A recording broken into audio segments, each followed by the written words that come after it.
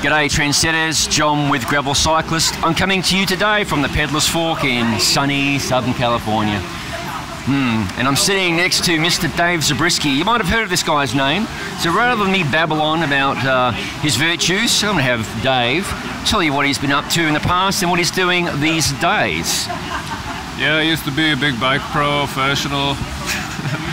the uh, used to race bikes in the Pro Tour for about 13, 15 years. Uh, I retired in 2013. And even before uh, gravel bikes were out, I took a, I kind of built up a Frankenstein bike and took it to Europe just because they have a lot of nice gravel paths over there. I was exploring around on, but yeah. So I've been pretty excited about the gravel bikes uh, that are out uh, and available to the public now. So started the, the DZ Nuthouse here in uh, Calabasas. That's just like a a camp type experience. You can come, go ride, eat here. We have the 3T gravel bikes available for people that want to come and ride those. And I also have, uh, you know, DZ Nuts, the chamois cream. So mm-hmm. DZ Nuts, the DZ Nuts house. It's kind of a, you know, that theme. Mm-hmm. And then uh, I also work with Floyd Landis uh, with Floyd's of Leadville, and uh, that's a CBD company. We have some, we have some of the product right here in front of us. So uh, yeah. I'll probably overlay some of that, but there's some of it right there, Trendsetters. Be sure to check it out. I'll link it in the description below. Um, so, Dave, what really drew you to this sort of riding? Um, uh, you mentioned when you were a pro, you were messing around in Europe on these roads. Um, yeah. Yeah. I mean, I just kind of like. Uh, it's a little more. It's a little more earthy feeling, like a little more solitude. You're not surrounded by vehicles. Uh, it's similar to mountain biking, really, but I mean, on some of the, let's say, gravel roads, those can be kind of boring on a mountain bike. So a fun way to make a boring trail fun is just downgrade your bike a little bit. So that's basically what gravel riding is. Like you can make a pretty boring gravel road kind of exciting with the right equipment, and uh, and like they're pretty decent speed on the road as well. So you can really just tie a bunch of things together in a fun way. In what direction do you think this John genre is headed?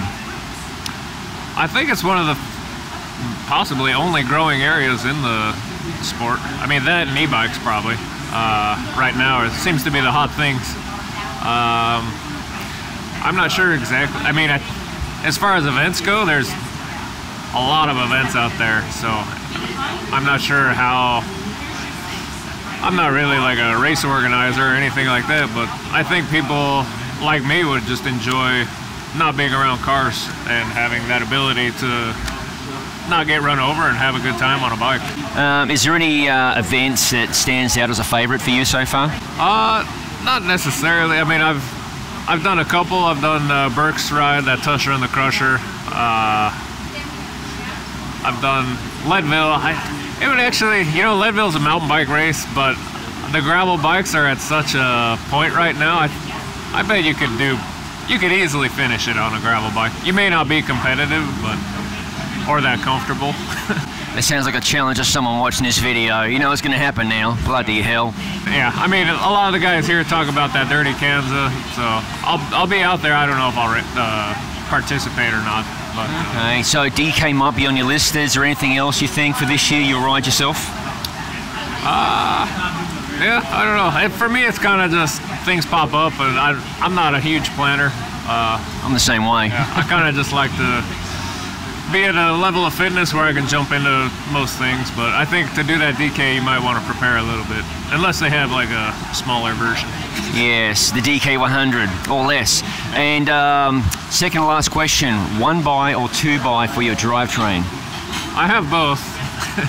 I have bikes with a one by, which is nice for most things. Um, but a two by, when you've been on the one by a long time, the two by is actually quite nice to have the smaller increments. Like, uh, so I enjoy both.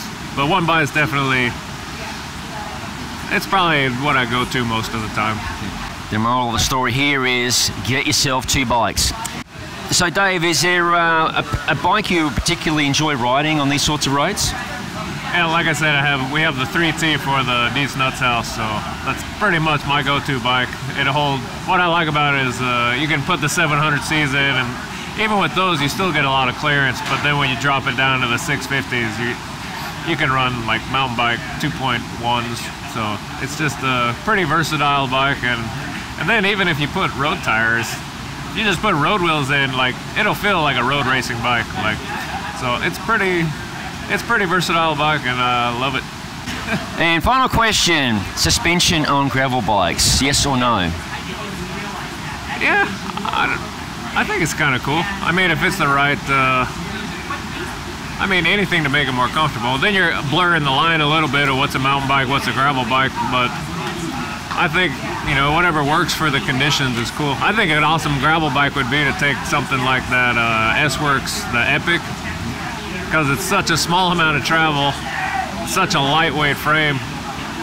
Just take that and build it with gravel parts and Specialized would have like pretty cool gravel bikes. Yeah, I think Cannondale kind of they had a good plan originally with that slate, but I think they kind of jumped the gun and didn't.